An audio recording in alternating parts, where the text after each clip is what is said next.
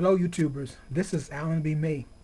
And today I'm going to demonstrate Xubuntu Lucid Lynx 10.04 the second beta that, that was released on April the 8th 2010 I'm, I installed this on my eMachines T1100 as you can see it's a Pentium 3 1 gigahertz uh, using the Intel 810 chipset including the uh, video 512 megabytes of RAM and a 40 gig hard drive. And I installed it flawlessly on the machine. And as you can see in the window to the right it's booting up. It took a minute and 14 seconds to boot on this machine. And as far as I could tell it, it ran flawlessly but a little bit slow. So after this boots up the next screen you'll see will be what I recorded with GTK recording my desktop to show some of the features of uh, the new version of Xubuntu or the XCFE lightweight desktop.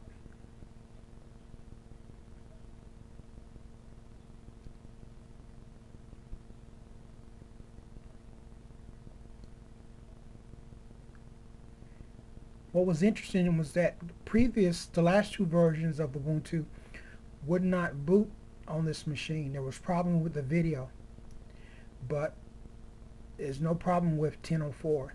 So here we are with recording my desktop. And right away there were 82 updates available and the beta is only one day old. So here are some new settings. Uh, the video is even better than before. I can get 1152 by 864, 75 megahertz, 75 hertz refresh rate. And here are the different themes that are available. Uh, some of these I can barely tell them apart, but I'm a normally I'm favorable to uh, the Clearlooks, but the albatross themes that is the, the default theme looks pretty good to me. So that's what I'll stick with on this particular demo. Uh,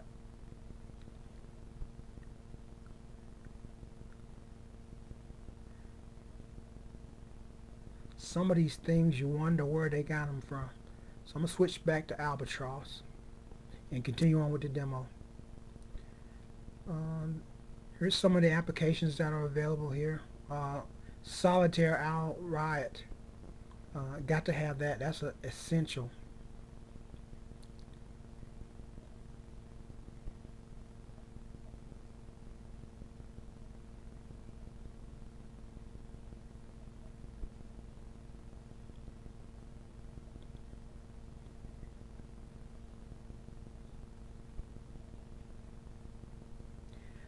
Again, as in previous versions of uh, 10.04, you can tell that they borrow some style cues from Linux Mint. Here's the file manager, the Thunar file manager, compared to uh, Nautilus and Dolphin and Konqueror is, is very fast. I don't have any images to show the previews, but uh, from past experience, it's very fast. Here's a, a audio mixer. I'm just going to load up a few programs just to get a I feel about how it runs under a load.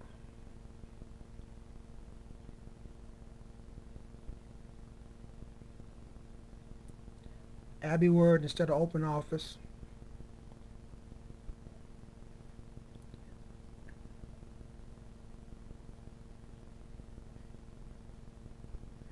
to have the system monitor here. Um, it's funny, uh, Xubuntu doesn't use its its own uh, task manager. Lubuntu uses the uh, XCFE task manager, which was pretty lightweight, but they use the GNOME task manager here, which is um, much greater load on the CPU.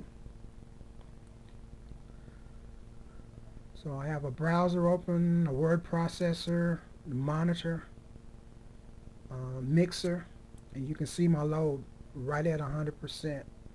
Look at the swap so far. Of course, this is a 512 megabyte machine.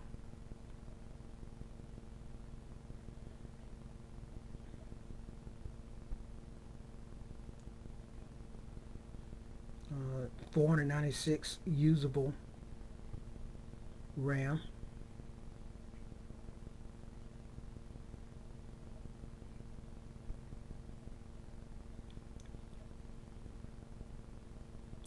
Load up the software center here just to put a little bit more load.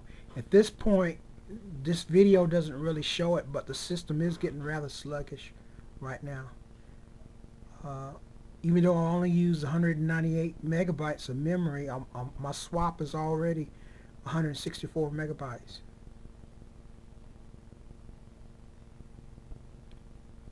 And of course, if I were running this on the machine with more memory, of course I wouldn't notice any, it would be pretty snappy. Uh, memory is more important than even processor speed. Here's a software center. I'm not going to install anything right now.